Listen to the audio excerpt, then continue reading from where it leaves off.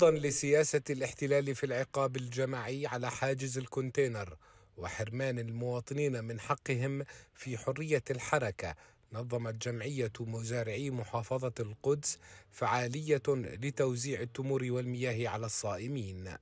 فكرة العمل الاجتماعي اللي قمنا فيها هذه فكرة تبلورت قبل ثلاث سنوات من خلالها بنقدر نزرع روح آه، الحالة عند أشبال وجيل قادم. إحنا اليوم بنشارك آه، كفعالية توزيع التمور وجبات آه، خفيفة على الكونتينر بسبب الظروف اللي بيعاني فيها المسافر من الشمال للجنوب وتسكير تسكير وتسكير الكونتينر فترات وساعات طويلة. احتجاز لساعات ذروتها قبيل ساعة الإفطار. سياسة احتلالية هدفها حرمان الفلسطينيين من حقهم في حرية الحركة. لابد لنا أن نشكر كل القائمين على هذه الحملة. ومن القلب شكر من القلب مشفوعا بالإيمان والتقدير والامتنان لكل من ساهم في هذه المهمة.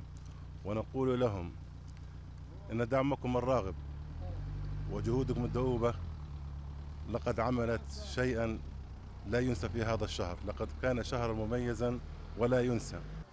إحنا الفعالية هاي بتكون فيها جمعية السواحل الخيرية بالتعاون مع اللجنة الشعبية للأنشطة والفعاليات الاجتماعية.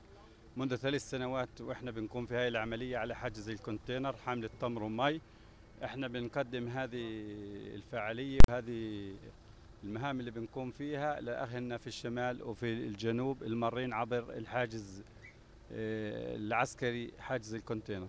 مبادرة تطوع فيها شبابنا وتشاركت فيها المؤسسات الرسمية والأهلية للتأكيد على كافة حقوقنا التي كفلتها القوانين الدولية ورفضا لإجراءات الاحتلال وسياساته. علاء الدين العبد تلفزيون فلسطين بيت لحم.